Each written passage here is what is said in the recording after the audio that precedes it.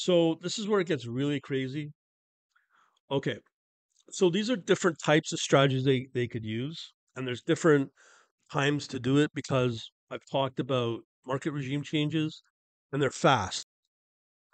So here there's um, one called a cash and carry arbitrage.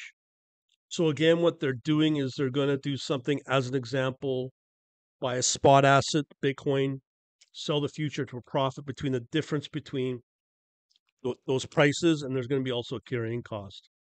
Also, uh, there's going to be uh, what's called reversing arbitrage. This one I couldn't quite understand, but they'll sell the spot asset and simultaneously buy a future and exploit this risk reverse pricing difference and minimize their risks. Sort of like kind of like hedging in a way.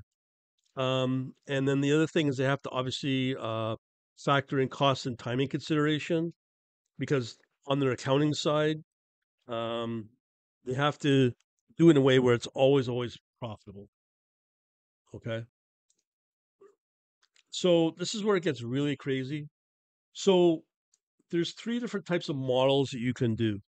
Heston, SABR, uh, and local volatility models. So as I said, they're capturing the market volatility. And when you're dealing with options, you're really dealing with implied volatility. And, and I've kind of shown in various videos and some of my projects in my memberships where you can take advantage of those different volatil- volatility moments. And this is where on the back testing, they're going to be back testing for bull market conditions and all the way in all the way on the other extreme of shock uh, pricing, where something in the market gets shocked and the pricing, let's say, crashes 20% in a matter of 10 minutes or like a flash crash, let's say. Um, this is really crucial because they have to be sure that they're accurate, especially in the, in the world of derivatives, which obviously is options and futures.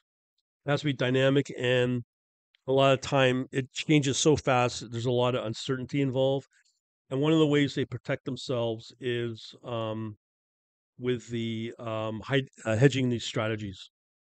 So, uh, you know, they're going to have, let's say, volatility models to develop effective hedging strategies against these different market risks.